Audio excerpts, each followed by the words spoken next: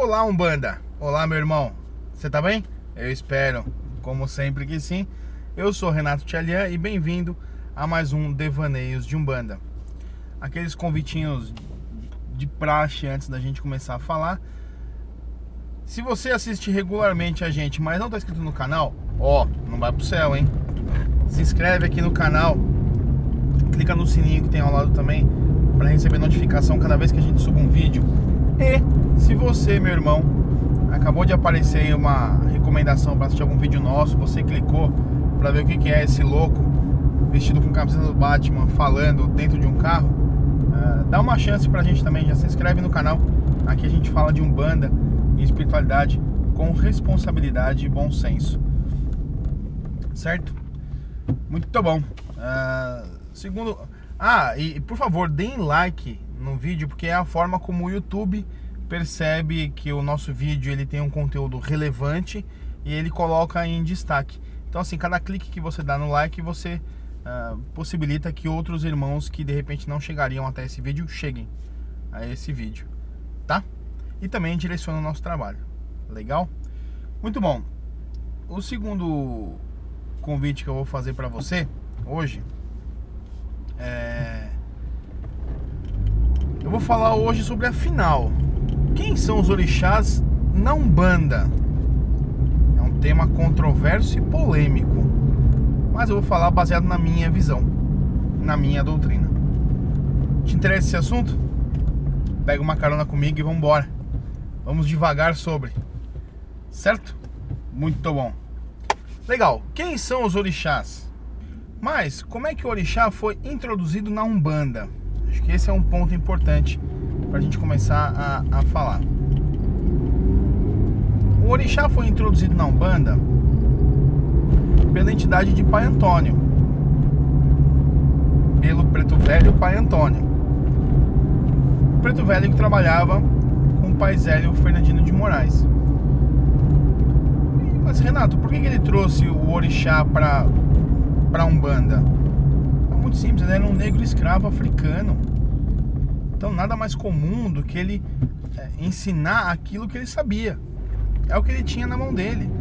Então ele mostrou quem eram os orixás, mas no mesmo momento já foi ocorrendo, né, a, a, como já existia o sincretismo religioso do próprio negro africano, né? Então ele já veio trazendo. Então é, o próprio Antônio pegava uma imagem de algum, falava, de, de, uma imagem de São Jorge, falava, é algum. Imagem de São Sebastião, é Oxóssi. E assim por diante. Então é assim que foi a introdução dos orixás na banda. E, e assim foi, e assim ficou. E a partir daí, cada tenda que foi abrindo, né, nas milhares que nós temos hoje, cada um entendeu o orixá da seguinte, da, da sua forma distinta. Então todo mundo uh, hoje sabe ah, Ogum, orixá da guerra, da lei, uh, Xangô, uh, Oxóssi. Todo mundo fala, mas se você pedir para identificar, fala assim, mas tá, mas quem são os orixás? O que são os orixás para Umbanda? E como eles atuam nessa bendita sete linhas de Umbanda? Pois bem, existem diversas formas de entendimento e eu respeito todas, uh,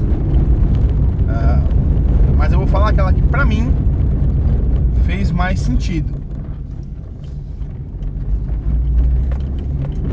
Veja, uma coisa que é consenso entre os estudiosos da religião de Umbanda é que o orixá ele não é um ser.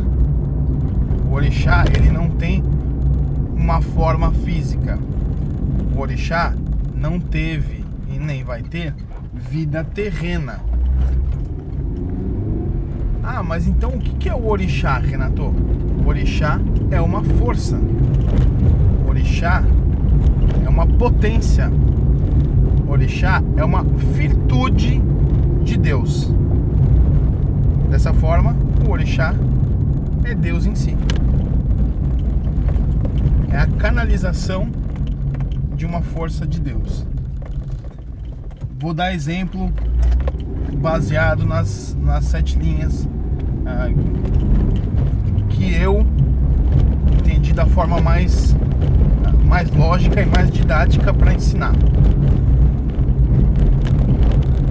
O que são as sete linhas de Umbanda? São sete orixás?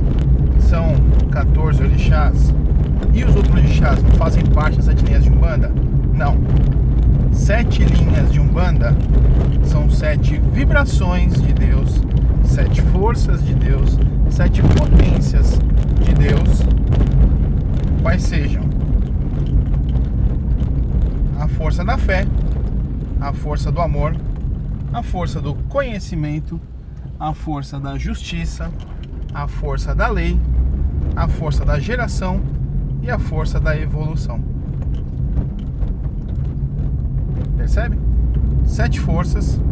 E dentro destas sete forças, eu posso enquadrar qualquer orixá. Qualquer orixá cabe lá dentro. Importante de falar também. Uh, e cada força dessa vem manifestada num polo, vou chamar de masculino e feminino, tá? Mas o orixá não tem, uh, não tem sexo.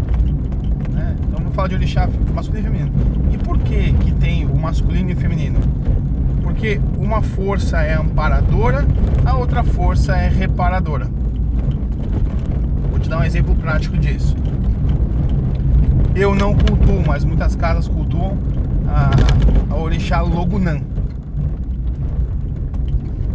Logunã faz par com Oxalá dentro da força da fé. Então, Oxalá ampara, Logunã repara. Como? Se tem um filho que está com pouca fé, que está desacreditado, que não está acreditando em mais nada, que acha que nada vai ajudar ele, você firma para Oxalá. Ele está com pouca fé. Oxalá o ampara na força da fé. Agora, um outro filho virou fanático religioso. Ele não consegue pensar, ele não consegue trabalhar, não consegue ter vida, não consegue ter família, nada, nada, nada, nada. Ele só anda, é, vive, respira e come, só fala de religião, qualquer que seja. Tá? Então ele está com excesso de religião, com excesso de fé. A gente firma para Logunã para que ela repare este excesso. Percebe? E isso nós temos em tudo. Então, nestas sete forças, nestas sete forças divinas, nós enquadramos todos os orixás. Quer ver um exemplo uh, prático disso? Vamos falar. Na fé, eu já falei, enquadra Oxalá. No amor, quem que enquadra, meus amigos? Oxum.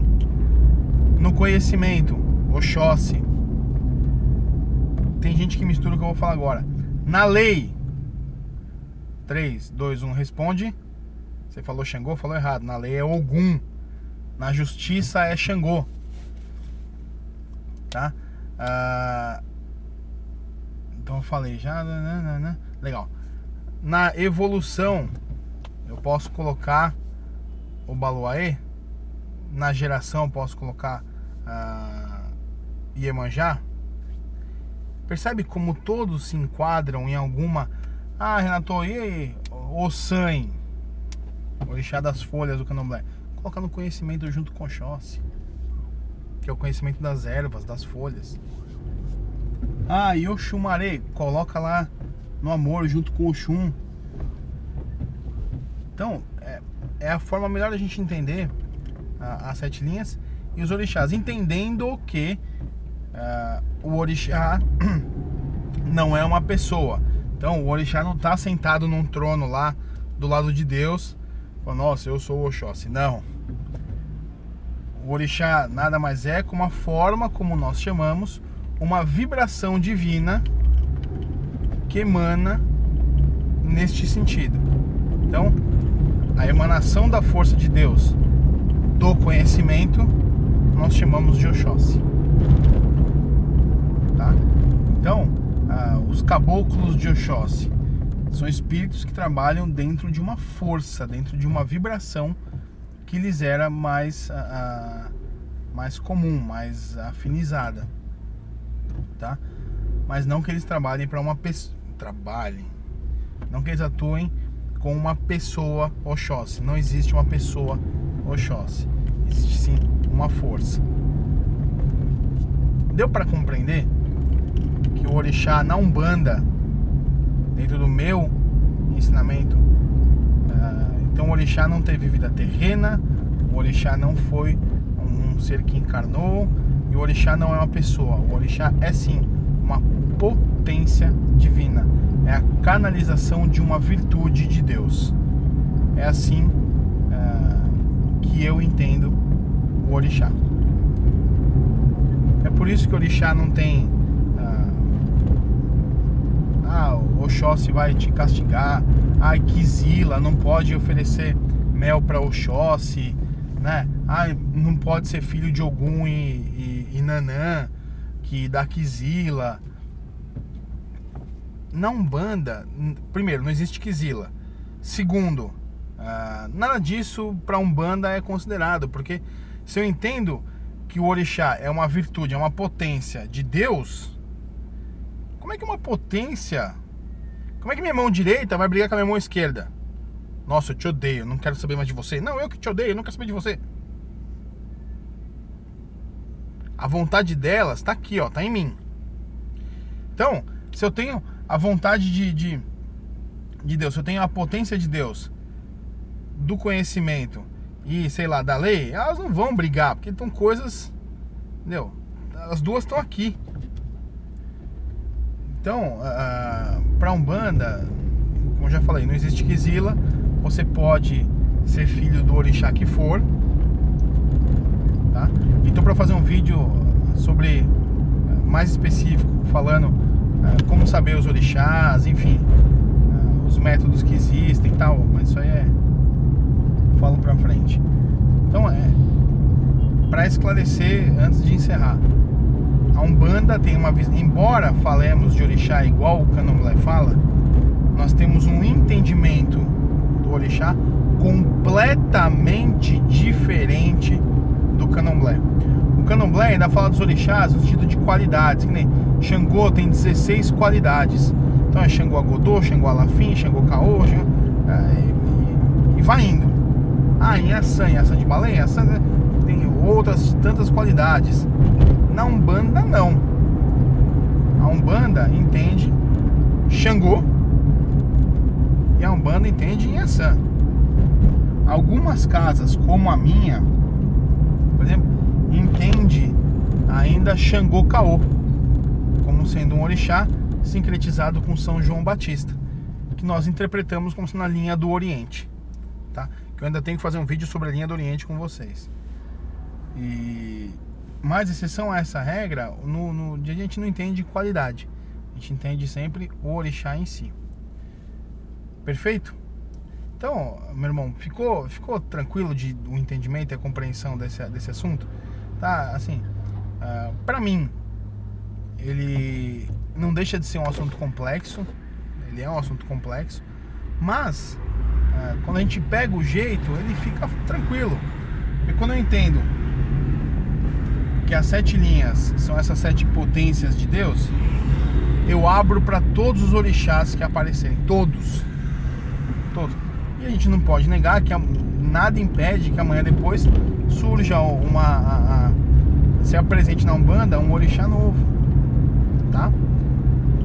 Então, uh, Sete linhas são sete potências e dentro dessas sete potências cabem todos os orixás.